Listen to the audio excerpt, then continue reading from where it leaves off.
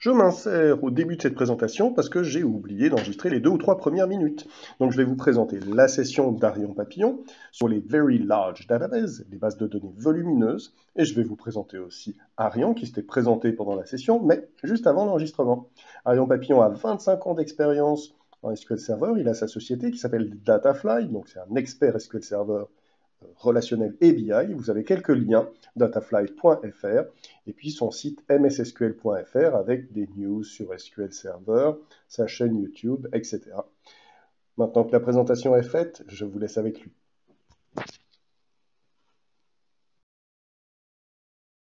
évolution euh, et puis aussi, ce qui détermine, c'est la variété avec du stockage de données non structurées. Ah, il va m'envoyer des tas de notifications là. Bon, enfin, c'est pas grave. Euh, donc, moi, j'aurais tendance à dire, à partir du moment où j'ai des fortes volumétries et de la variété, ça peut être du big data, et en particulier si mon moteur de base de données relationnelle ne suffit plus, que j'ai besoin de calcul distribué et de stockage distribué. Dans ces cas-là, on peut parler de Big Data. Microsoft a bien avancé sur le sujet depuis SQL Server 2019 avec le cluster Big Data sous Linux, cluster SQL Server 2019. Euh, c'est une architecture en, trois, en, trois, couches, hein. un plan de contrôle euh, dans lequel vous avez euh, ben, l'orchestrateur qui est Kubernetes et une instance master SQL Server et puis également tout ce qui est euh, passerelle, euh, euh, tout ce qui est outils de gestion, etc. Un, un, plan de calcul sur lequel vous avez organisé en différents pods des instances SQL Server qui vont permettre de faire du calcul distribué. Et puis un plan de données qui permet le stockage avec deux types de stockage, soit des pools de stockage SQL Server, c'est donc des instances SQL Server et on fait du stockage distribué SQL Server, soit pour des données non structurées, du stockage HDFS ou Hadoop.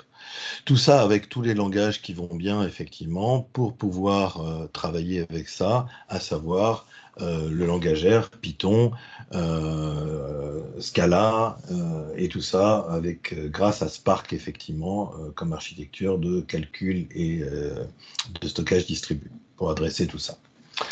Voilà, mais on est dans un autre monde que le moteur de base de données. On va revenir sur notre bon vieux SGBD qui permet tout de même des bases de données de 524 pétaoctets, comme on en a parlé tout à l'heure. Euh, d'abord, quelques bonnes pratiques et qui sont pas, euh, on va dire, qui sont pas réservées aux grosses bases de données. Déjà, quand j'ai une base de données de quelques gigaoctets, j'ai intérêt à travailler proprement et autrement dit à avoir un bon modèle, une base de données bien modélisée tient bien moins de place et est plus efficace. Le choix des types de données, qu'est-ce que je vois très souvent? Moi, je vois des bases de données avec euh, euh, des types de données euh, Unicode pour les, colonnes caractères, par exemple des nchar, des nvarchar, alors que ce n'est pas forcément nécessaire. Des types de données mal dimensionnés. Donc tout ça va nous permettre de garder, d'avoir plus d'efficacité et moins de place hein, si je choisis les types de données adaptés à ce que ça doit contenir. Et puis l'indexation aussi. Le choix des clés d'index est primordial. Par exemple, une clé d'un index cluster doit être petite. Qu'est-ce qu'on voit? Des clés multicolonnes euh, sur des colonnes de type nvarchar ou nchar euh, ou des global identifiers, etc. Donc ça, c'est ce qu'on voit effectivement dans la pratique et rien que ça déjà va considérablement régler des problèmes de performance sur nos bases de données volumineuses. Je ne rentrerai pas plus dans le détail puisque c'est des bonnes pratiques générales. Et on va parler du stockage. Là encore, des bonnes pratiques. Prédimensionner les fichiers, largement avec de l'espace libre.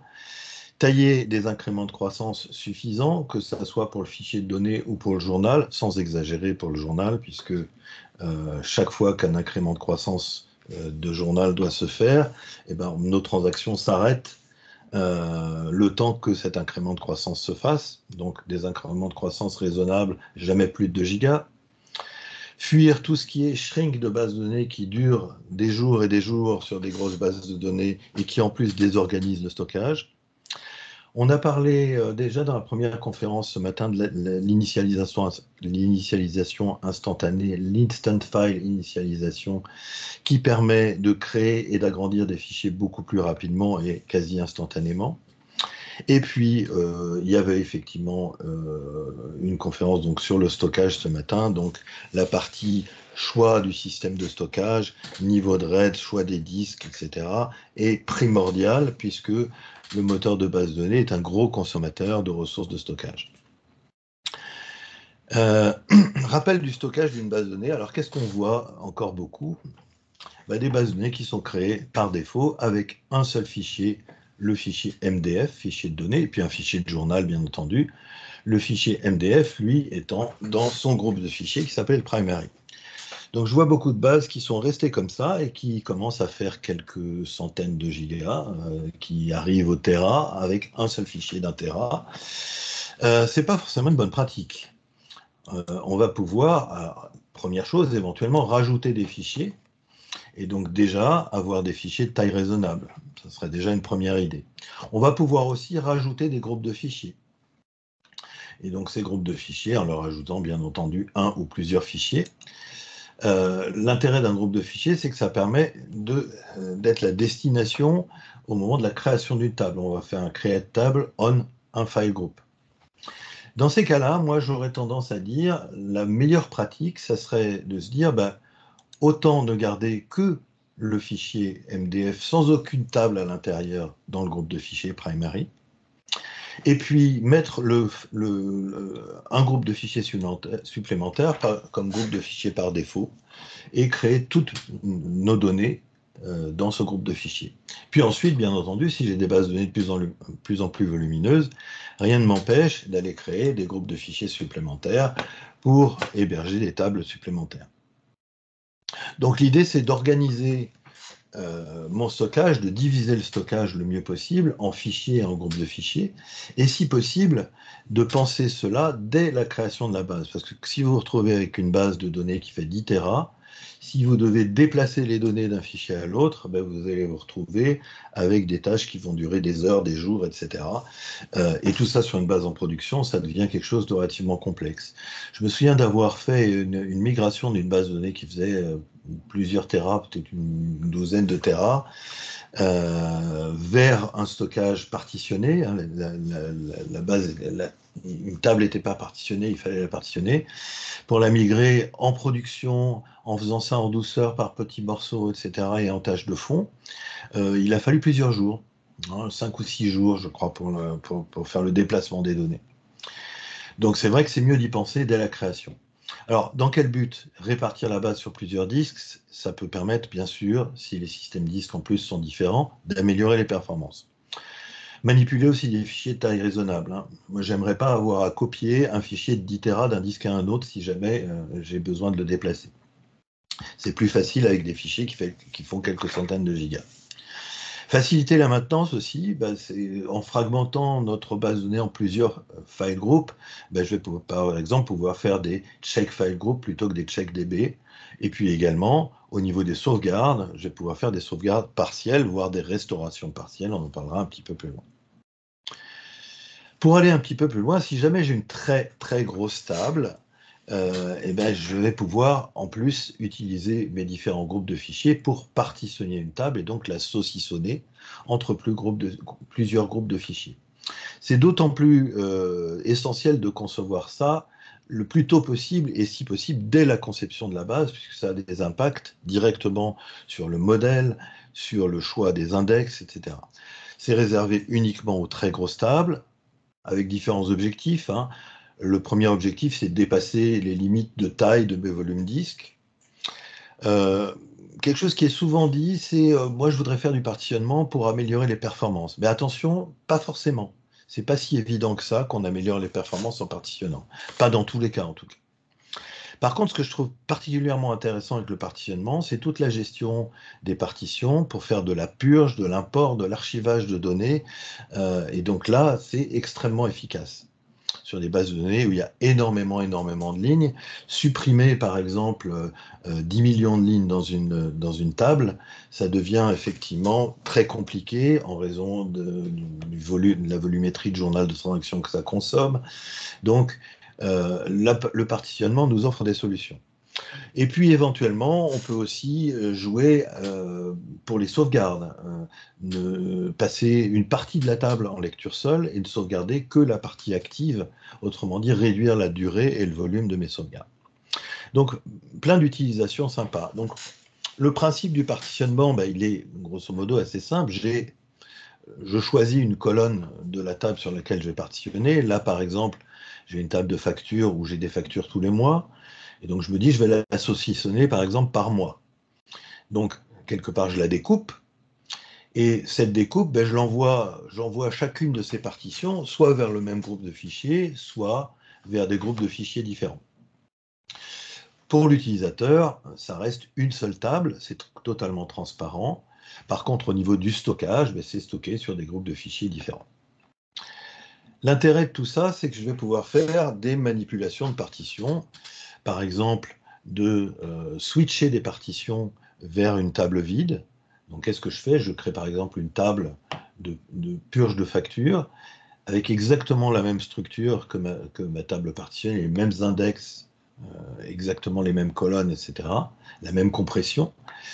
Et je vais pouvoir faire une opération de switch partition, par exemple ma partition de janvier, la switcher dans une table d'archives ou de purge, euh, et ça sera une opération instantanée, même si ma partition fait un milliard de lignes.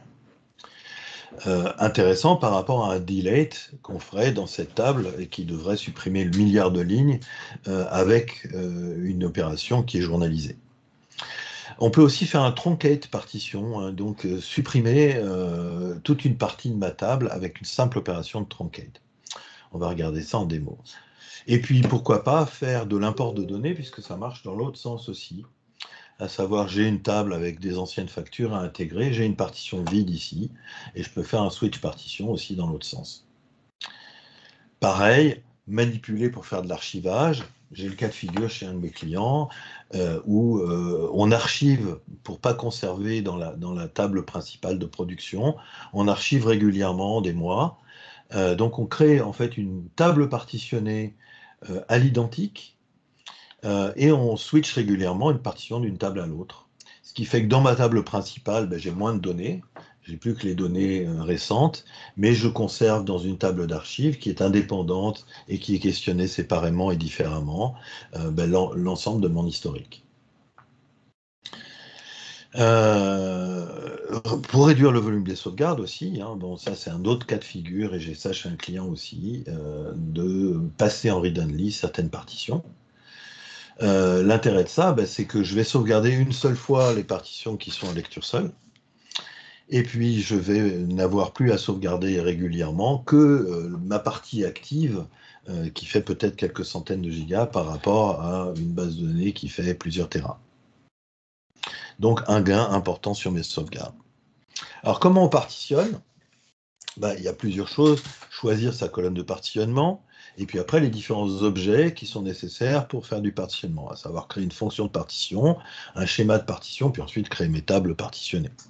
On va voir, et je vais vous montrer dans la démo, qu'il y a quand même quelques petits impacts sur le modèle quand on partitionne une table, en particulier sur les index. Bon, déjà, le partitionnement d'un index cluster, puisqu'un index cluster, c'est la table elle-même qui est triée, le partitionnement d'un index cluster partitionne la table elle-même. Ensuite, pour tout index cluster, la clé d'index doit contenir la colonne de partitionnement. Et c'est valable également pour tout index unique, donc cluster, si on veut le partitionner aussi. Donc ça veut dire que l'unicité de mon index cluster, de ma clé primaire en, particulier, eh ben, elle va contenir en plus une deuxième colonne, et donc l'unicité n'est plus exactement la même. Donc il faudra effectivement gérer ça. Euh, on peut ou non partitionner euh, les index de la même manière que la table. S'ils sont partitionnés de la même manière, on appelle ça les index alignés. Et dans ces cas-là, SQL Server va inclure de toute manière implicitement la, colonne de partitionnement dans la clé d'index, euh, dans, les, dans les includes? Si l'index est unique, non cluster, ben, il faut mettre la colonne de partitionnement dans, explicitement dans la clé d'index.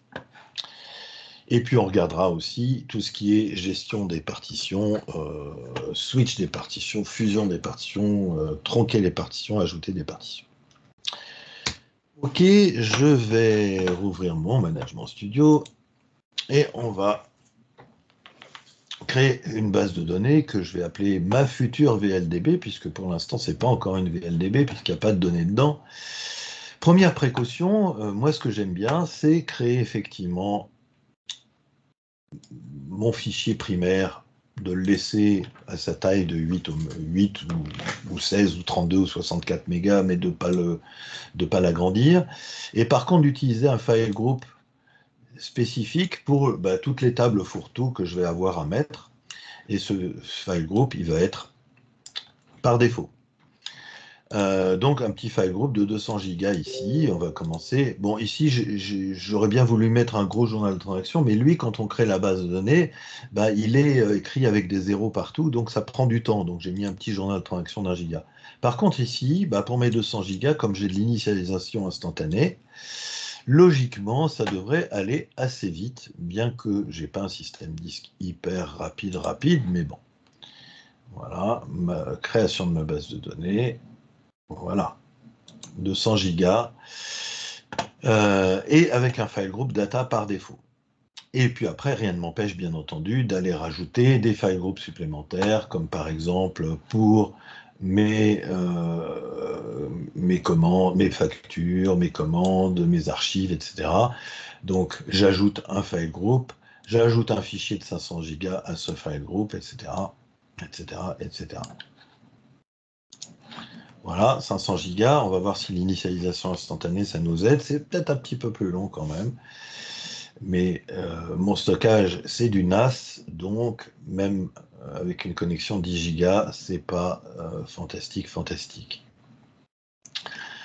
OK. Et puis, ben, ça devrait pas tarder quand même, malgré tout. Après, ben, l'opération, ça y est. Après, l'opération va être de créer mes tables. Bon, là, je fais des tables exemples simplement. Euh, de créer des tables dans mon file group, c'est simplement au moment du create table que je spécifie sur quel file group je vais créer mes différentes tables. Donc là, je crée deux tables vides. Problématique, comment je déplace mes tables d'un file group à un autre? par exemple, ici, je vais créer une table par erreur sur mon groupe de fichiers primary. Euh, comment je fais pour déplacer cette table? Il y aura une méthode simple qui, consiste à créer une nouvelle table, importer les données, supprimer l'ancienne, etc. on va pouvoir faire mieux que ça. On va regarder effectivement déjà où se situe avec cette petite requête, dans quel file group se situe ma table. On regarde, on voit qu'il y a deux unités d'allocation, pour les données en ligne et pour les lobes. Pourquoi les lobes? Parce qu'il y a une, colonne commentaire qui est un N, euh, qui est un varchar max. Et donc, c'est une unité d'allocation différente dans la taille. Alors, je vous avais dit de créer, de modifier un index cluster. Ça permet de déplacer la table. Alors, oui et non. Dans ce cas-là, on va voir qu'il y a une limite. Alors, je peux créer, recréer mon index cluster même quand c'est une clé primaire. Avec la, syntaxe create euh, unique cluster d'index, puisque c'est un index cluster unique, le nom de ma PK, de mon index, euh, et avec l'option drop existing, et même online, on au passage. Ok, donc je déplace ma table de données, ma table, d'un file group à un autre. Si je vérifie où est-ce qu'elle se trouve maintenant, ben, il y a une petite limite, c'est que ça, ça marche, sauf pour les unités d'allocation qui contiennent des lobes. Et donc, moralité, j'ai déplacé mes lignes de données, mais pas la partie lobe vers mon groupe de fichiers data. Là, du coup, c'est un peu plus compliqué hein, pour faire le déplacement. Alors, je l'ai mis là l'adresse sur euh, un de mes sites qui est le, site mssql.fr sur lequel il y a une section script et euh, il y a un script d'une procédure stockée qui s'appelle sp move to move table to file group qui va me permettre d'automatiser un petit peu la production du code nécessaire pour euh, déplacer cette table. Alors, une des techniques pour faire ça, et c'est d'ailleurs la seule sans supprimer et recréer la table, c'est d'utiliser euh, le partitionnement pour faire le déplacement. C'est-à-dire que je partitionne ma table, je déplace vers ma table partitionnée et je départitionne ma table. C'est un petit peu lourd, mais euh, c'est effectivement le moyen de déplacer. Donc je vais lancer cette commande-là. Là, ça produit juste un script. Hein. Et ce script, effectivement, ben, c'est celui qui est euh, ici. En fait, ça va créer une fonction de partition, mais euh, juste pour le déplacement. Un schéma de partition, ok, euh, qui va pointer directement sur mon fichier data, hein, sur mon groupe de fichiers data. Ça recrée l'index deux fois de suite, d'ailleurs, pour tout déplacer. Euh, et puis ça supprime le schéma de partition. Et donc, euh, en gros, ça me génère. Alors, j'aurais pu le faire d'une seule traite en mettant euh, ici le 0. Voilà, avec ma procédure stockée. Voilà, et du coup, normalement, si tout va bien, et s'il n'y a pas d'effet démo, voilà mon, deuxième euh, unité d'allocation a été déplacée. Vous voyez donc ça, effectivement, bah, quand vous avez une base de données de plusieurs terras, le fait de reconstruire ces index comme ça pour déplacer des données, vaut mieux y avoir pensé avant, idéalement. On va continuer avec le partitionnement. Euh, dans ma base de données, je vais pouvoir partitionner, euh, si je crée une, table de, commandes par exemple, de vouloir la partitionner par an. Euh, j'imagine que je vais avoir des commandes de 2010 jusqu'à 2022, euh, et donc je vais créer les groupes de fichiers qui sont nécessaires. Crée, je crée d'abord un groupe de fichiers pour tout ce qui est antérieur à 2010. Donc je vais l'appeler VLDB Orders 2000. Voilà, je crée un groupe de fichiers avec un fichier. Et puis ensuite, je vais créer autant de partitions que nécessaire pour chaque année.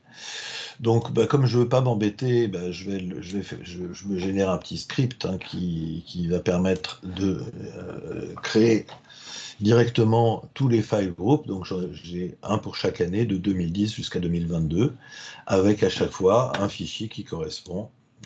Alors, tout est créé sur le même disque, mais bien entendu, euh, je pourrais créer ça sur des volumes différents, ce qui pourrait être intéressant pour répartir ça sur plusieurs systèmes disques, éventuellement avec des performances différentes, etc.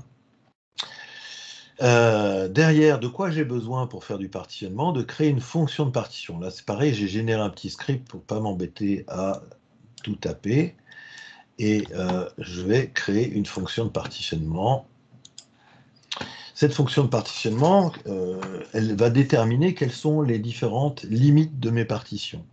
Comme je partitionne par an, eh bien, je vais prendre et que je travaille sur un datetime, ici, je vais euh, donner différentes limites. Donc, tout ce qui est avant le 1er janvier 2010 va se trouver sur la gauche ici, puisque je partitionne avec la limite à droite.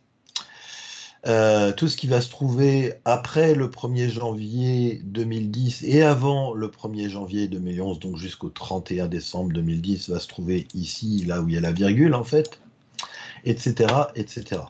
Ça, ça me permet juste de donner mes différentes bornes. Et puis ensuite, objet supplémentaire dont j'ai besoin pour partitionner, créer un schéma de partition. Le schéma de partition, qu'est-ce qu'il fait? Pareil, un petit script, et bien lui, il va permettre de déterminer quelle euh, partie de la table va dans quel groupe de fichiers. Donc c'est simplement par rapport euh, aux limites de tout à l'heure, euh, ce qui se situe donc avant le 1er janvier 2010 va aller dans le groupe FG 2000, ce qui se situe pour l'année 2010 entre 1er janvier et le 31 décembre dans le FG 2010, etc. etc., etc. ensuite, j'ai pu créer ma table. Et là, on a pris les beaux modèles d'AdventureWorks Lite pour euh, créer ma table. Euh, je crée ma table et qu'est-ce qu'il y a de particulier dans la création de cette, table-là? C'est deux choses. D'abord, c'est que euh, au niveau de la destination de la table, ben, j'utilise mon schéma de partition, celui que je viens de créer, en spécifiant ben, la colonne qui va servir à partitionner, qui est ma colonne order date, hein, ma date de commande. Euh, donc ça, déjà, destination de ma table, et là, elle est partitionnée donc sur la date. Deuxième chose qui est importante ici, c'est le fait que j'ai été obligé de créer une clé primaire composite parce que j'ai été obligé de rajouter ma clé de partitionnement qui est order date euh, dans ma clé primaire cluster. Parce que tout index unique, si on veut le partitionner, ben, il faut qu'il y ait la clé de partitionnement dedans. en réalité, j'ai plus une unicité sur le numéro de commande, mais j'ai une unicité sur numéro de commande plus date, ce qui peut effectivement poser un problème dans mon modèle. Je vais faire pareil pour la table des lignes de commande, et là je suis obligé forcément de la dénormaliser un tout petit peu, cette, cette table de lignes de commande, et en particulier d'ajouter la date de commande, dont j'aurais théoriquement pas besoin parce que ça se trouve déjà dans les autres têtes de commande. Mais là, comme je veux partitionner ma table, il faut que ça soit une colonne existante qui me permette de la partitionner. Donc même chose, et même principe aussi sur ma clé primaire, j'ai été obligé d'ajouter ma colonne order date. Ok, si on regarde un petit peu tout ça, comment c'est euh, alloué. tous, il y a un, un peu longue celle-là. Voilà, on va remonter un peu d'un cran. Voilà, donc on voit effectivement que j'ai bien euh, partitionné sur différents groupes de fichiers ici. Et on voit aussi hein, quelles sont les limites ici mes partitions. Limite à droite. Donc, autrement dit, ça veut dire ma, ma limite du 1er janvier 2010 se trouve dans le groupe de fichiers suivant et dans la partition suivante. Donc ma première partition va donc jusqu'au 31 12 2009 à 23h59 59. Ok, euh, on va examiner une base de données avec quelques données dedans quand même. On va changer de base de données. Et là, j'ai un peu de monde dans celle-là. Euh, et on va regarder comment ça se passe si ma table est remplie avec un peu plus de données je me suis un peu amusé euh, quand même à créer une base exemple. Est-ce que j'ai cliqué là? Non, je n'ai pas cliqué là. Voilà. Et donc là, bah, euh, j'ai quand même 2 milliards et demi de lignes de commande. vous voyez que d'ailleurs, en 2010, on, on avait 60 millions de lignes de commande, puis à partir de 2016, 2015, euh, ça commence à augmenter jusqu'à 2021. Euh, euh, donc 2 milliards et demi de lignes de commande et puis 1 milliard de d'entêtes de commande. donc on a un peu plus de données dans celle-là. Alors est-ce que ça améliore les performances d'avoir partitionné? Si j'interroge cette table si je fais un simple select, donc je vais activer les statistiques d'entrée-sortie pour regarder ce que ça donne. Je faire une simple requête. Euh, je vais interroger mes entêtes de commande jointes avec mes lignes de commande pour un numéro de commande donné. je ne sais plus dans quelle partition il se trouve, mais euh, peu importe. Mais le problème, c'est que lui non plus, ne sait pas dans quelle partition il se trouve. Alors, si j'aurais dû mettre le plan d'exécution, ça aurait été mieux. On va, refaire la requête. Alors, ça répond bien, hein, il n'y a pas de souci, hein, c'est transparent, mais il y a quand même un petit truc. Bon, ici, j'ai 48 lectures. Bon, ok. 48 euh, lectures. Et mon plan d'exécution, bah, j'ai un plan d'exécution avec une recherche d'index dans les deux, il n'y a pas de problème. J'ai un petit warning ici. Euh, bon, ça c'est juste pour la, conversion. Et euh, ce qui est intéressant ici, c'est on arrive à le voir. C'est ça. En fait, là, je lui ai donné ben, la, clé euh, qui est le numéro de commande. Ben, le problème, c'est que comme c'est partitionné, il est obligé d'aller chercher ce numéro de commande dans 14 partitions. Donc, c'est pas forcément rentable. Alors, si je mets juste une jointure, déjà je modifie ma jointure et je rajoute la date de commande dans ma jointure et on va regarder si ça change quelque chose au niveau des IO. Alors oui, ça change quelque chose puisque bah, dans ma première table, je suis quand même obligé d'aller lire dans 14 partitions. Par contre, dans ma deuxième table, ben, je connais sur quelle date je dois chercher et donc je n'ai plus que 4 lectures. vous voyez que déjà, simplement en retournant ma, ma requête un petit peu autrement, c'est déjà mieux. Maintenant, si je précise ma date, euh, précise dans quelle partition ça se trouve, ben là, effectivement, je vais me retrouver avec encore moins d'entrées-sorties, plus que quatre lectures de pages pour chacune des tables, parce que là, il sait où chercher, et donc, dans son plan d'exécution, il n'y a qu'une seule recherche dans une seule partition.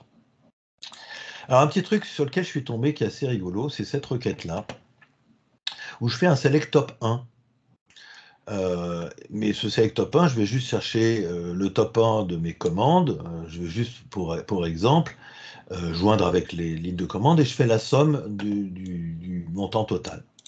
Donc normalement, j'ai une seule commande. Ça, sur une table non partitionnée, ça pose aucun souci, c'est une requête qui est instantanée. Là, sur cette table partitionnée, quand je lance cette requête-là, hein, je vais la lancer, on peut revenir dans une heure, elle n'aura pas fini de tourner. Donc c'est assez intéressant. Pourquoi? Parce que en fait, euh, si on regarde le plan d'exécution estimé, je ne pourrais pas vous montrer le vrai du coup, mais qu'est-ce qu'on constate? On constate qu'ici, en fait, il lit toute la table des entêtes de commande et il la retrie. Donc là, l'optimiseur, il est un peu dans les choux quand même. À savoir que cette requête-là, il est absolument incapable de l'exécuter. Alors, je peux vous dire que la première fois que je l'ai lancé, je l'ai laissé tourner. Et euh, comme il y a un tri et qu'il y a un milliard de lignes dans ma table, eh ben, j'ai saturé TempDB qui a rempli mon disque. Euh, donc je me suis retrouvé avec une erreur de TempDB plein. Hein, donc une simple requête comme ça qui fait un top 1, et eh ben, là, elle ne fonctionne pas. Alors bien sûr, on peut l'écrire d'une autre manière. on peut rajouter un index qui n'est pas partitionné, ça marcherait. Ou alors on peut l'écrire d'une autre manière. Là, je fais une sous-requête. Et là, effectivement, ça, ça fonctionne. J'ai un résultat instantané avec un plan d'exécution normal. Donc c'est un peu bizarre, le fait que cette écriture-là ne fonctionne pas alors que celle-ci fonctionne. Ok, alors continuons avec les opérations de partition. Euh, imaginons que je veux archiver euh, mes données de 2010. Euh, donc, première chose à faire, c'est localiser quel est le numéro de partition pour 2010. Donc, je localise ma partition et on voit bien que pour 2010, que ça soit dans Order Detail ou Order Detail, le numéro de partition, c'est le numéro 2. C'est assez logique. Hein. J'ai ma, ma, partition antérieure à 2010 qui est la partition numéro 1 et à partir de 2010, j'ai la partition 2, 3, 4, 5, etc. OK, et donc, derrière, je vais pouvoir purger ma table. Alors imaginez ce que ça représenterait. J'ai quand même 60 millions de lignes dans la table order details euh, à, vider. Donc euh, si je fais ça avec un delete, c'est bon. Euh, je vais faire durer ma session jusqu'à 18h ce soir peut-être. donc comme on est un peu pressé, eh ben, je vais créer une table d'archives. Alors pour les Order Details, que je vais appeler Order Details 2010, rigoureusement identique avec les mêmes colonnes, la même clé primaire, etc. Et je la crée sur le groupe de fichiers qui contient la, partition, la, partition que je veux switcher. Ok, faire la même chose pour ma table Cell Order Reader. Voilà.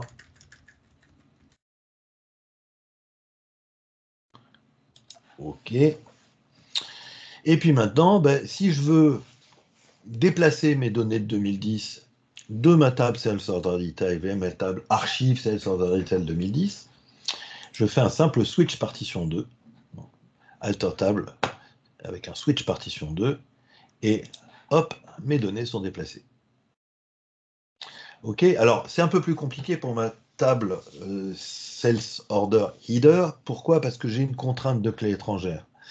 Et donc ça veut dire qu'en malgré tout, il faut quand même que je retire momentanément ma contrainte pour pouvoir faire ce switch, parce qu'il refuse de faire un switch. Hein. si j'essaye là comme ça, hein, euh, j'ai un message d'erreur parce qu'il y a une contrainte de clé étrangère. Donc je suis obligé de retirer temporairement ma contrainte de clé étrangère, je la retire, je fais mon switch, et je la remets, là je l'ai fait, je l'ai remis avec un autre check, pour éviter que ça balaye. Ok, voilà, donc là, si je regarde effectivement, euh, si je reviens sur ma requête de tout à l'heure, on va voir que maintenant, 2010, euh, bah, elle est vide, il y a zéro ligne, zéro page. Et moralité, maintenant, ce qu'il faut que je fasse encore derrière, c'est que je fusionne ma limite pour enlever cette partition vide. Et donc, ça, je le fais simplement en modifiant la fonction de partition et en disant, ben, j'enlève la borne du, du 1er janvier 2010, et donc ça va fusionner. OK. Derrière, je supprime ma table d'archives et mon file group. Alors je peux bien sûr faire euh, un truncate partition aussi, hein. là je vais vite là-dessus. Même principe, là je vais enlever 2011. Et euh, là je ne le switch pas, je le vide carrément avec un truncate table with partition. Je peux aussi ajouter une partition supplémentaire, un file group pour 2023, pour l'année prochaine, on ne sait jamais, ça peut servir. Euh, donc j'ajoute mon fichier, mon groupe de fichiers. Je prépare mon schéma de partition en disant je vais prochain groupe de fichiers utilisé, ça va être 2023. Et puis je rajoute une nouvelle borne à ma fonction de partition. OK euh, voilà, donc ma table est partitionnée, j'ai tronqué des partitions, etc. Ok, et vous voyez que donc ma partition 1 maintenant, c'est toujours qui est antérieur, qui s'appelle toujours FG 2000, mais que je commence, ma partition 2, maintenant, elle commence à 2012. J'ai switché 2010 et j'ai tronqué 2011. Ok, vous voyez un petit peu la capacité d'administration de mes données, des opérations de gestion que je peux faire euh, de manière très puissante et très rapide. Euh, venons-en au backup. Euh, les backups. Alors, ce que je pourrais faire avec cette, cette table partitionnée, c'est tout passer, passer tout en read-only, sauf 2022, puisque je considère que je ne vais plus faire de modifications sur les années qui sont closes. pour ça, il faut quand même que je sois en single user, et donc, euh, euh, j'ai plus d'utilisateurs euh, connectés sur ma base de données pour pouvoir passer des groupes de fichiers read-only. Ça, je trouve ça un peu dommage, c'est pas très pratique, mais on n'a pas trop le choix. Voilà, donc je passe toute une série de groupes de fichiers en read-only. Pour ça, je suis obligé de déconnecter mes utilisateurs. alors c'est intéressant parce que là, effectivement, tout est en read-only sauf 2022. Donc forcément, je ne peux pas insérer de données dans une table partitionnée pour laquelle la partition a été mise en read-only. Hein, pour 2012, bah, ça ne fonctionne pas. Euh, pour 2022, par contre, aucun souci, je peux continuer à, insérer. OK Donc, quelque part, j'ai une disponibilité partielle et donc ça me permet de continuer à fonctionner avec ma base de données et avoir, avoir des sauvegardes. Alors, je ne vais pas les faire, les sauvegardes, parce que ça prend un petit peu de temps. Mais euh, bon, l'idéal, c'est que ma base soit passée quand même en, recovery full hein, pour, que, pour que ça fonctionne. Hein. Et derrière, je vais pouvoir faire des euh, backups partiels, c'est-à-dire sauvegarder uniquement mes file groups qui sont en read-only et puis conserver cette sauvegarde euh, jusqu'à la fin de vie de ma base de données. Et puis régulièrement, par contre, faire des backups database, read-write file groups, uniquement les file groups qui sont en lecture-écriture, plus des backup logs, bien entendu, plus éventuellement entre les deux, j'aurais pu mettre des, backups différentiels du read-write file group pour avoir une stratégie de sauvegarde complète. Et je vais pouvoir du coup euh, utiliser des stratégies de restauration optimisées aussi. Donc pouvoir restaurer ma base de données avec l'option partielle, autrement dit restaurer juste le groupe de fichiers primary. Derrière, pouvoir restaurer les file groups qui sont en lecture-écriture. Donc, par exemple, data, parce que là-dedans j'ai quelques tables, lob, parce que j'ai un file group dans lequel j'ai quelques données aussi, mon file group pour 2022 et mon file group pour 2023. Euh, et ensuite un restore log with recovery. Vous remarquez une chose ici, c'est que je n'ai pas restauré euh, mes données de 2012, 13, 14, 15, 16, etc. jusqu'à 2021, et que ma base de données, elle est en ligne.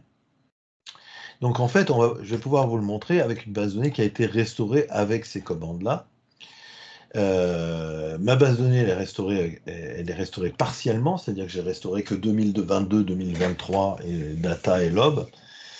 Bien sûr, si je cherche des données en 2021, bah forcément, il me dit bah non, euh, désolé, c'est une euh, l'accès est impossible parce que c'est hors connexion, même si j'indique dans quelle partition les lire. Ce qui est plus embêtant, c'est que ça marche pas non plus pour 2022. Pourquoi? Parce que ici, j'ai fait une recherche uniquement avec le numéro de commande. Et donc, il a besoin d'aller chercher dans toutes les partitions. On l'a vu tout à l'heure dans les, dans les 12 partitions, puisque j'en ai enlevé deux. Euh, par contre, je peux faire mon select si je précise dans quelle partition ça se trouve. Là, il n'y a pas de problème. Je n'ai pas restauré mes, données de 2021, etc., mais j'ai qu'une partie de la table en ligne. Je peux faire des inserts aussi sans aucun problème. Et ce qui est intéressant, surtout, c'est que je peux, et ça, je peux le faire dans une autre fenêtre, pour vous montrer. Je vais lancer mon restore du file group 2021. OK, c'est en train de restaurer, ça va prendre un moment, hein, mais pendant ce temps-là, rien ne m'empêche d'aller faire des selects, des inserts, etc. Donc je, fais, je restaure la partie read-only de ma base pendant que la partie euh, read-write est déjà en ligne et déjà utilisable par mes utilisateurs avec certaines restrictions. Ici, pourquoi? Parce que j'ai partitionné sur la date de commande et je fais une recherche sur l'ID. Donc euh, forcément, euh, j'ai l'exemple chez un client où c'est partitionné sur l'ID et dans ces cas-là, ben, ça pose aucun souci de faire une recherche sur l'ID hein, sur après une restauration partielle, pendant une restauration partielle. Ok, je vais l'arrêter, ma restore, puisque là, elle va tourner pendant un moment. Euh, voilà, voilà, voilà. Donc, les backups, c'est ce qu'on a vu, possibilité euh, de backup. Alors, les backups d'une manière générale par fichier, par groupe de fichiers, euh, différentiel par groupe de fichiers. Euh, et donc, ça nous permet euh, d'avoir ces stratégies de sauvegarde beaucoup plus, euh, beaucoup plus intelligentes pour des très grosses bases de données. Donc, on a quand même des moyens de gérer ça. Ensuite, parlons de compression. la compression de données, compression de table et compression d'index. Euh, donc ça, ça existe euh, depuis déjà un bout de temps dans SQL Server et je constate que c'est pas souvent euh, utilisé parce que souvent bah, les gens ont peur de l'utiliser en se disant oula mais ça va coûter cher d'aller écrire et de lire des données compressées. Alors oui et non. il, y a, il peut y avoir un petit overhead en particulier au niveau utilisation du CPU, en particulier si on fait de la compression niveau page. Niveau lead, c'est quasi transparent en général, il y a très peu d'overhead, et donc on a déjà, on peut avoir un gain de place très très important, ça dépend de, ce qu'on stocke dans notre table. Et puis après, on a la compression de type euh, euh, store index, qui est un peu plus dédiée aux bases à vocation décisionnelle, puisque là, l'idée, c'est de, euh, compresser ma table pour pouvoir faire des requêtes sur du, colon store, et le colon store, c'est plutôt adapté à des requêtes massives d'interrogation massive, sur beaucoup de lignes, peu de colonnes, etc. si on regarde un petit peu ce que ça donne, la compression.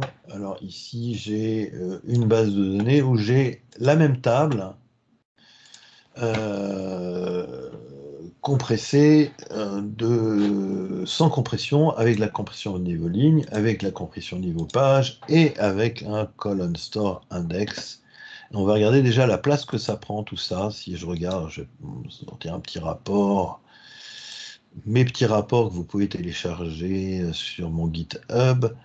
Et c'est assez pratique pour montrer. Je vais trier par taille pour qu'on voit tout de suite. Voilà, donc, taille en mégas, euh, en giga, d'ailleurs 15 gigas pour la, table sans compression, 11 gigas en compression niveau ligne, 9 gigas en compression niveau page, et puis on tombe à 4 gigas avec un store index. Donc là, il n'y a pas photo, effectivement, sur le, taux de compression. Le plus efficace, c'est la, compression par colonne, hein, et donc le colonne store index. Au niveau euh, des performances de tout ça et des temps de, temps de réponse, on peut s'amuser à faire un select sum sur quelques centaines de milliers de lignes euh, pour voir un petit peu ce que ça donne. Euh, donc dans les trois premiers cas, on a, un, index sur cette clé-là, donc on, a, un index cluster. Dans le quatrième cas, ben, c'est un colon store, donc c'est pas trié dans le principe. Euh, et on va. J'ai mis mes statistiques, je ne sais plus. Euh, on, va, on, va, lancer ça et on va comparer en IO euh, et en durée aussi pendant qu'on y est. Ce que ça donne. Normalement, c'est pas trop trop long.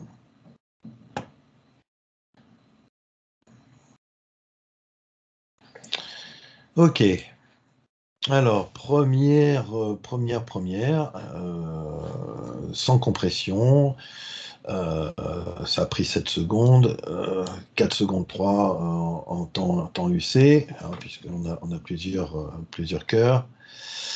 En compression niveau ligne, vous voyez que la différence, elle est triviale, et j'aurais même tendance à dire ça a été plus vite d'ailleurs en temps de réponse.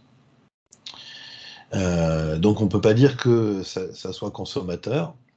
En compression niveau page, là, ça commence à coûter un peu plus cher. Bon, il y, a une petite différence. Alors ça peut être plus important en fonction des tables.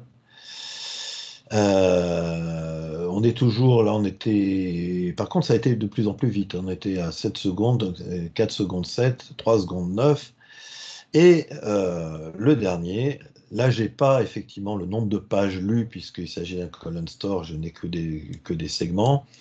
Euh, mais par contre, en temps de réponse, là, il n'y a pas photo. Le column store pour faire une requête de ce type-là, effectivement, est extrêmement efficace. Donc voilà, euh, sur une grosse base de données, j'ai intérêt euh, effectivement à faire de la compression autant que possible, et c'est efficace. Choisir pour des tables sur lesquelles il y a beaucoup de transactions de la compression niveau ligne, euh, sur d'autres tables, éventuellement, euh, de la compression niveau page, euh, voire de la compression colon store, voire colon store avec l'option archive pour comprimer encore plus sur des tables que je lis un peu moins. Alors, il me reste encore un peu de temps, donc on va pouvoir parler d'une autre méthode pour partitionner, diviser le stockage, les vues partitionnées distribuées. Donc distribuer mes données, mais non pas euh, sur plusieurs groupes de fichiers, mais carrément sur plusieurs bases, voire même plusieurs serveurs. Donc l'idée, c'est de créer une table sur chacun, une base avec une table sur chacun des serveurs. Ce qui est important, c'est de mettre une contrainte check sur la clé de partitionnement sur chacune de ces tables. Et puis sur mon serveur principal, de mettre une vue qui met en union all toutes les tables. Ok, je vais vous montrer ce que ça donne. Vue partition. Donc j'ai trois serveurs. Euh, j'ai mon serveur principal qui est celui sur lequel je suis connecté, et puis j'ai un serveur qui a mes données de 2019 dans une base, même table, euh, qui s'appelle euh, Sales Order Reader 2019, voilà. Et sur mon deuxième serveur, les données de 2020, et vous voyez que j'ai mis des contraintes check sur chacune de ces tables. Donc l'idée, c'est de créer dans ma base principale une vue qui met les trois tables en union. Tout ça, c'est à travers des serveurs liés. Donc attention, effectivement, en termes de performance au serveur lié, on en reparlera. Euh, je mets mes trois tables en union. Je vais faire la même chose d'ailleurs pour mes sales order detail. OK. Et je vais pouvoir ben, interroger comme si c'était une seule table, puisque j'ai créé une vue qui se porte le nom de la table, en fait. Donc j'ai exactement le même problème qu'avec le partitionnement, à savoir que ici, ben, j'ai juste interrogé avec mon numéro de commande. Donc, il se trouve que ici, euh, alors on ne le voit pas, il faut que je mette le plan d'exécution. Voilà. Euh, ben, du coup, ça a interrogé mes trois serveurs. Forcément, euh, comme je n'ai pas donné de colonne de partitionnement, ça interrogé dans les trois serveurs. Si je donne ma colonne de partitionnement, eh ben, c'est clair que ici, ça va interroger que sur un seul serveur. Donc, et puis ma requête de tout à l'heure, tiens d'ailleurs, qui fonctionnait mal quand c'était partitionné, ici, elle pose aucun souci. Hein. Bon, le problème peut être les mises à jour hein, sur, une base de données euh, distribuée. Je ne vais pas pouvoir utiliser d'identity, donc je vais être obligé de créer des séquences. Euh, je ne vais pas pouvoir mettre à jour à travers ma vue, puisque euh, je vais être obligé de mettre un trigger instead of sur ma vue pour rediriger mes mises à jour alors en insert, en update, en delete, il va falloir que j'écrive des triggers pour rediriger mes mises à jour en fonction de la date de commande. OK. Et là, effectivement, dans le principe, ben, je peux faire des inserts euh, de manière quasi transparente, ce qui va rediriger euh, mes inserts sur le bon, euh, sur le bon serveur. Alors, petit problème quand même sur ce genre de truc, c'est un peu long d'ailleurs. Alors pourquoi c'est un peu long? Parce que dans mon trigger, ben, je fais appel à plusieurs euh, serveurs en même temps et que du coup, c'est une transaction distribuée avec MSDTC, ce qui alourdit considérablement mes performances. Ok, et puis bon, ce que je viens d'insérer, on voit bien que ça a été ça, ça vient d'être inséré, etc. Ok, donc autre solution qui est intéressante là pour distribuer vraiment mes données sur plusieurs serveurs, c'est pas simple à mettre en place. Euh, lecture dans plusieurs tables, pareil que pour le partitionnement. Il faut écrire du code pour les insertions, les suppressions, les mises à jour avec des triggers. Euh, on a le problème des transactions distribuées des DTC. Euh, on a le problème de la gestion des identities. L'intégrité référentielle, il va falloir que je la mette dans mes triggers aussi, puisque là, euh, l'intégrité référentielle, euh, elle devient compliquée euh, avec plusieurs bases de données sur plusieurs serveurs. Et puis, il y a aussi tous les problèmes de performance qui sont liés aux serveurs liés, et en particulier aux jointures interserveurs. si je fais une jointure entre une table qui se trouve sur un serveur et une table qui se trouve sur un autre. Donc l'idéal, c'est de rapprocher les données et d'avoir toujours ben, les tables jointes euh, répliquer sur les différents serveurs. Voilà, donc une certaine complexité pour mettre ça en place. Par contre, ça permet vraiment de faire de la distribution. Ok, euh, il me reste euh, plus beaucoup. Hein. Je peux dépasser un petit peu, je suppose, Rudy, hein, comme tout le monde. Hein. Oui, de 30, 37 secondes. Ah ouais, ouais. Bon, parce que j'ai encore quelques petites choses. Alors, côté administration, c'est compliqué une base de données volumineuse. Quand vous avez effectivement des dizaines de terras, c'est compliqué. Par exemple, le checkDB. Le checkDB, si vous lancez un checkDB sur une, sur une, grosse base de données, euh, vous allez constater que ça consomme énormément de TempDB et que vous allez exploser la base TempDB. on peut faire un DBCC checkDB with estimate only. Euh, c'est bien une estimation, d'ailleurs, c'est très faux, mais ça nous donne une idée de ce que ça va consommer dans TempDB. Euh, donc, on ne peut plus lancer un checkDB global sur notre base de données qui fait un snapshot et qui utilise du coup énormément de TempDB. Euh, on va pouvoir faire des check file group, des check table, et donc faire ça morceau par morceau. La maintenance des index aussi, bah, si on a des tables partitionnées, on peut faire du rebuild partition par partition. Euh, de toute manière, on va optimiser notre maintenance d'index pour ne reconstruire que ce qui mérite de l'être, parce que reconstruire un gros index, ben, ça va être extrêmement long et extrêmement coûteux. Pour ça, je vous recommande bien sûr les scripts Dola, Alan Green, qui sont très bien pour ça et qui donnent en plus des limites de temps. On peut fixer une limite de temps pour éviter qu'il lance 36 grosses réindexations à la suite et qu'on dépasse nos, limites de plage de maintenance. Euh, et il prend en charge effectivement tout ce qui est partitionnement, etc. Et pour les statistiques, ben, on va en parler un peu plus, puisque les statistiques, ça peut être aussi un problème. il y a une problématique de maintenance des statistiques, en particulier des, statistiques. on peut utiliser pour l'état partitionné les statistiques incrémentales. Alors, quand j'ai fait mes, quelques tests euh, avec euh, ma base de données qui fait euh, à peu près 400-500 gigas, là, première requête que j'ai lancée, eh ben, j'ai eu un temps de réponse épouvantable. Et en fait, je me suis rendu compte que bah, oui, les statistiques n'étaient pas à jour et que le simple fait de lancer ma requête bah, lançait une actualisation automatique de statistiques, ce qui est l'option par défaut. Et que du coup, bah, ma requête, euh, dans son plan d'exécution, il y avait l'update statistique, et euh, l'update statistique sur une table qui fait 2 euh, milliards et demi de lignes, malgré tout, c'est long, même si c'est très faiblement échantillonné. Donc, sur une base de données très volumineuse, bah, la gestion des statistiques, je peux choisir soit de la faire entièrement à la main et de la désactiver la mise à jour automatique, voire même la création automatique d'ailleurs. Euh, soit euh, éventuellement euh, d'activer, si je suis en édition entreprise, la mise à jour auto en asynchrone, mise à jour auto des statistiques, ce qui permet d'éviter que mon plan de requête, que mon temps de réponse de requête soit ralenti par la mise à jour automatique des statistiques.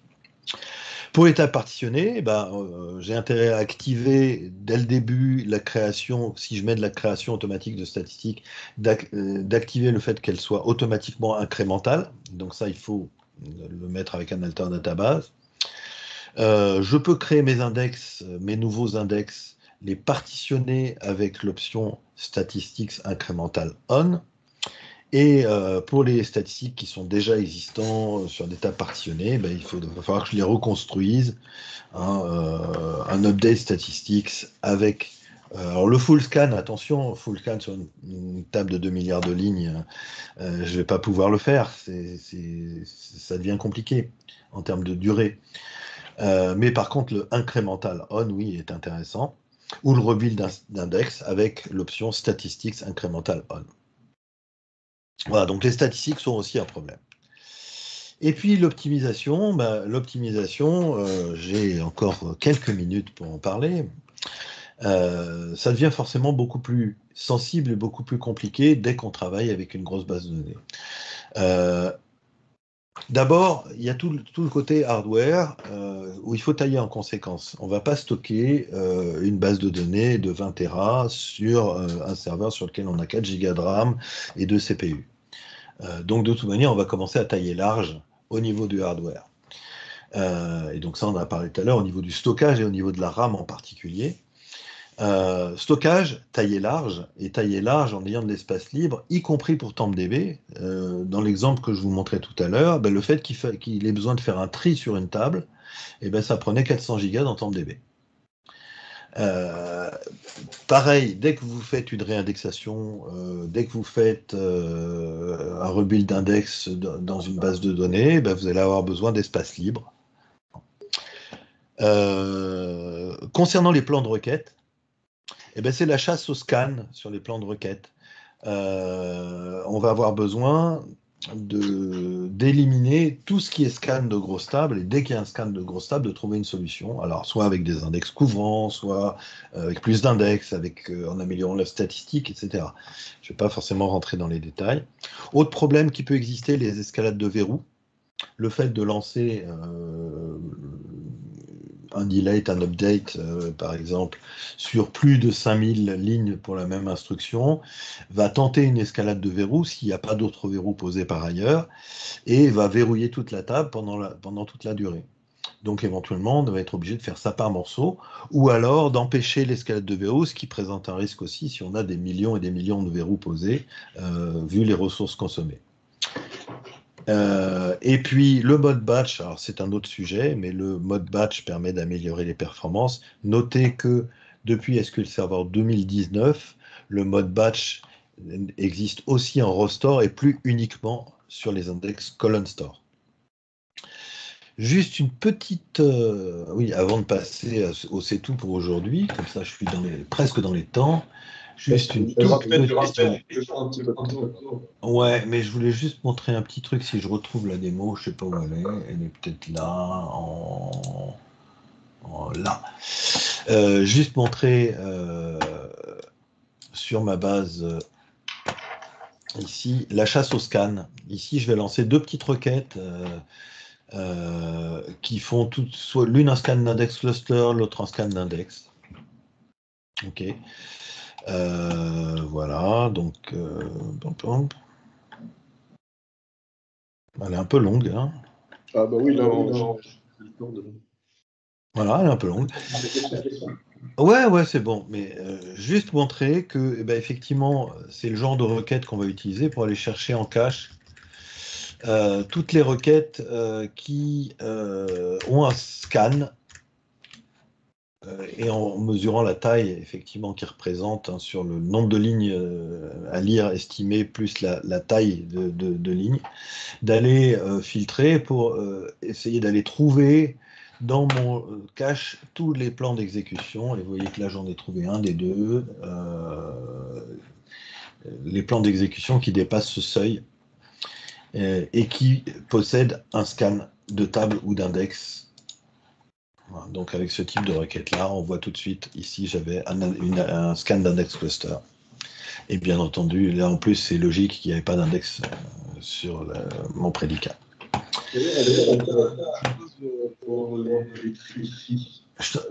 J'entends pas bien. Je ne sais pas pourquoi il y a eu l'écho d'ailleurs.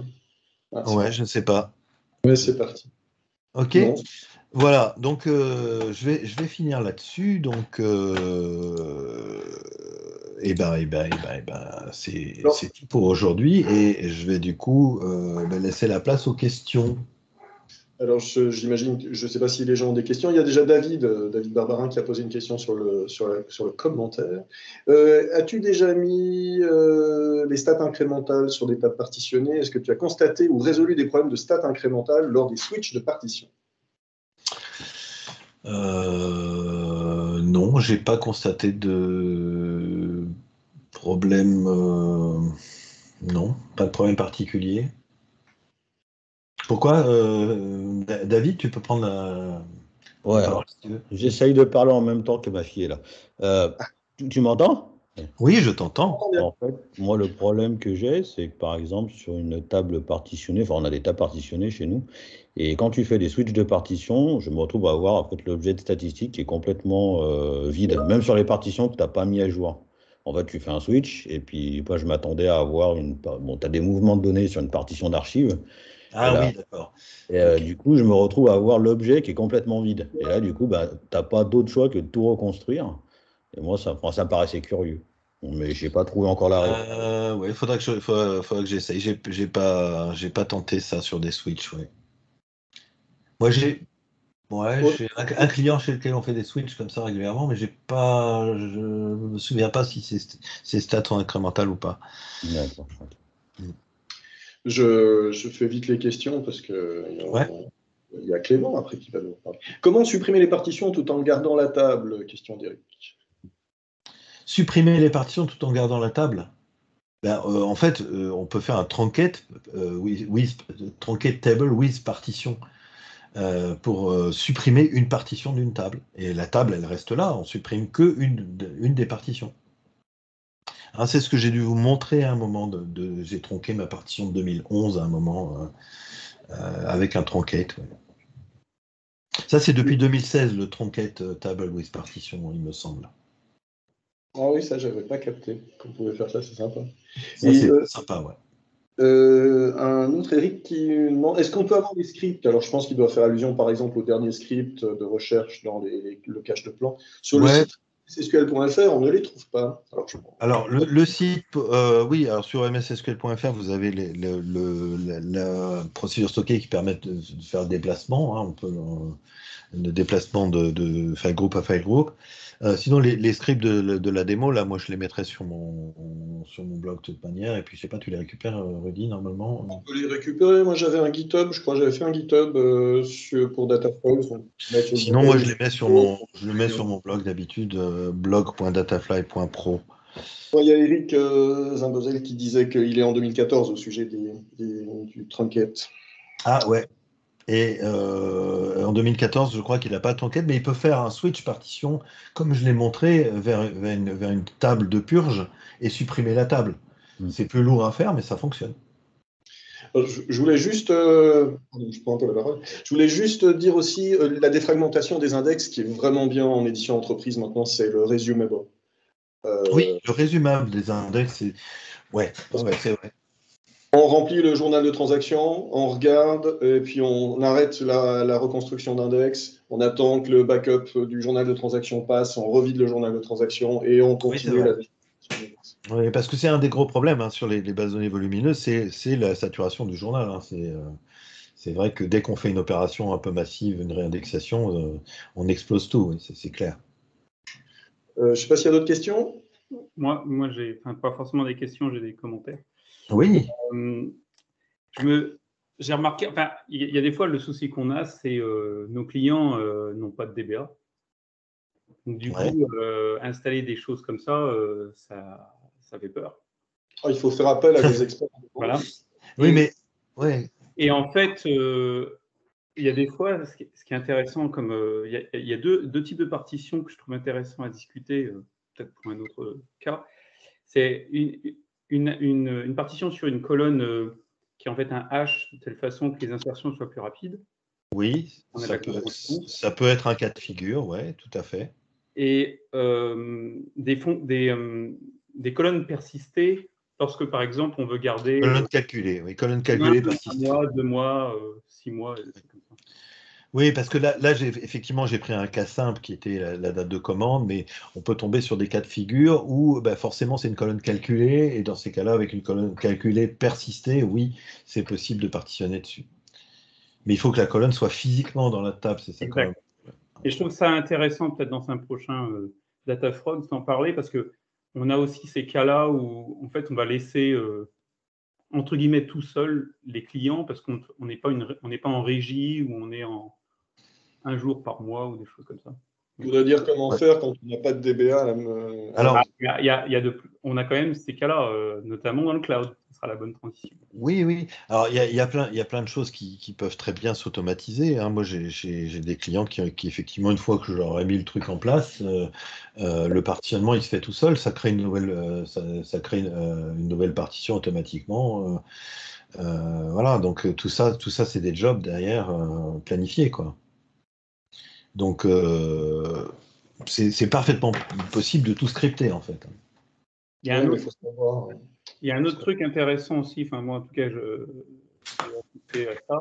C'est lorsqu'on a une partition sur, sur primaire, par exemple, on va chez un client et qu'on veut la partitionner, et qu'elle est déjà très volumétrique, mais qu'il y a énormément d'accès concurrents. Ouais, ça c'est ça c'est vache. C'est pour ça que je disais qu'il faut, faut, y penser avant. Oui, oui.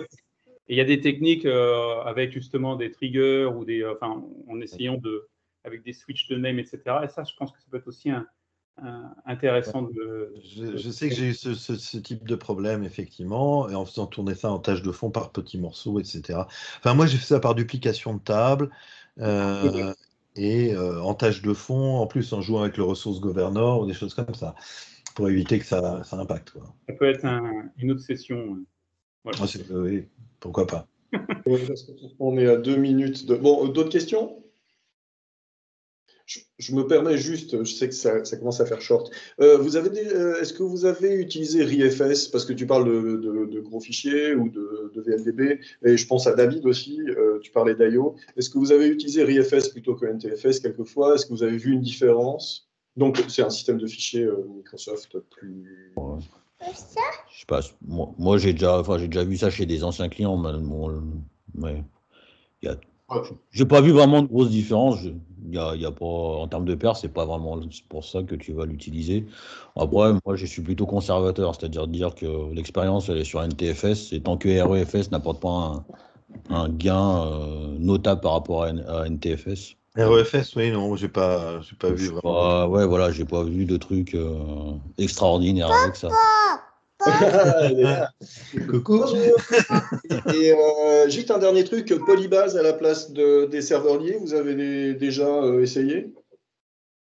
Bah, c'est c'est pas la même chose, c'est pas le même Non, principe. c'est la même chose, mais tu, tu peux. euh, ouais, c'est vrai.